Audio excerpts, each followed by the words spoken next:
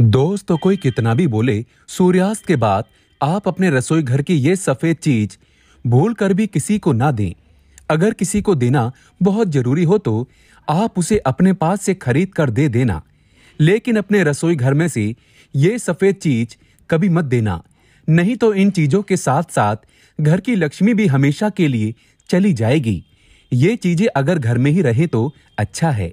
दोस्तों, अगर आप अपने जीवन में कुछ नया सीखना चाहते हैं तो हमारे चैनल को ज़रूर सब्सक्राइब करिएगा और इस बेल आइकन को ज़रूर दबाइएगा।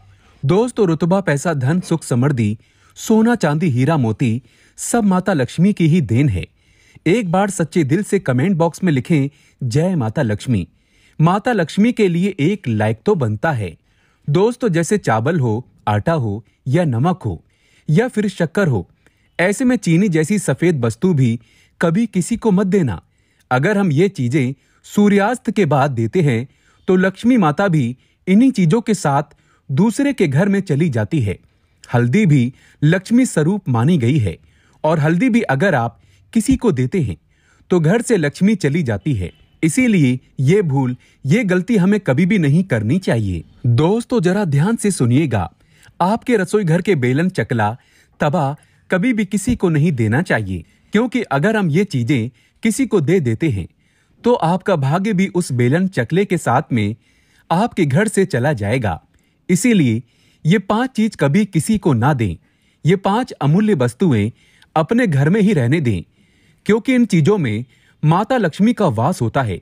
ये लक्ष्मी के स्वरूप है।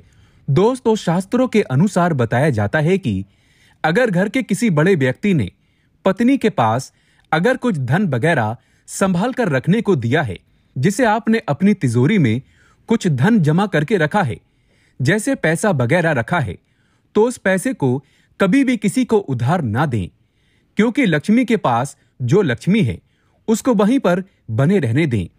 घर की लक्ष्मी के पास अगर लक्ष्मी जोड़ कर रखते हैं तो आपके घर में भी सदैव के लिए बरकत हमेशा होती रहेगी। दोस्तों, इसीलिए वो लक्ष्मी कभी भी उधार में ना दें।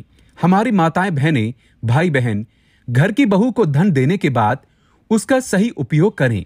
जिस घर की बहू धन को सदैव जोड़ती है तो माता लक्ष्मी उसकी झोली में, उसके हाथों में, दोनों हाथों से धन की वर्षा करती है। ऐसी बहू, ऐसी महिला लकी होती है। दोस्तों शास्त्रों के अनुसार कहा गया है, जो झाड़ू हम अपने घर में लगाते हैं, वो झाड़ू कभी भी दूसरे को नहीं देना चाहिए। अगर पुराना हो गया हो तो आप किसी नदी में प्रभावित कर दें। झाड़ू को लक्ष्मी स्वरूपा माना गया है।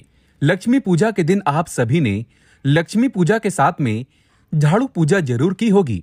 आपको बता दें, हमारे हिंदू परंपरा में, हमारे शास्त्र में बताया गया है, झाड़ू लक्ष्मी के स्वरूप है। इसीलिए हमारे बुज़ुर्ग माताएँ बुज़ुर्ग लोग कहते हैं कि अगर झाड़ू को पैर लग जाए तो तुरंत क्षमा मांग लें। घर की झाड़ू किसी को देना नहीं चाहिए, या दूसरे की घर की झाड़ू भी अपने घर में कभी भी यूज़ नहीं करना चाहिए। ऐसा अगर हम करते हैं तो हमारे घर में से लक्ष्मी चली जाती है।